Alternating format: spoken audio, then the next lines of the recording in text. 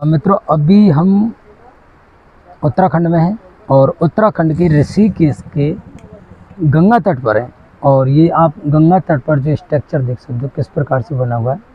और अगर दूसरी छोर की हम बात करें तो उधर आप देखोगे, जो हिमालय पर्वत की तलेटी के नीचे गंगा जी बह रही है। और इस वक्त जो गंगा का रौद्र रूप आपको देखने को मिलेगा, और काफ़ी तेज़ बहाव है और जो पानी है इसका जल, वो मटमैला आ रहा है बरसात के कारण। और सामने अगर देख दोस्तों, अभी हम गंगा जी के तट पर बैठे हुए हैं और बड़ा सुकून मिल रहा है यहाँ पर।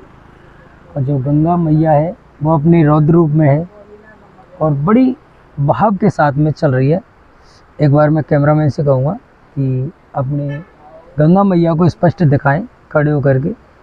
और एक जो रौद्र रूप आपको देखने को मिलेगा, सबसे बड़ी बात है दोस्तों कि इस वक्त सावन का जो महीना है, वो चल रहा है और हम निकले हैं उत्तराखंड यात्रा पर।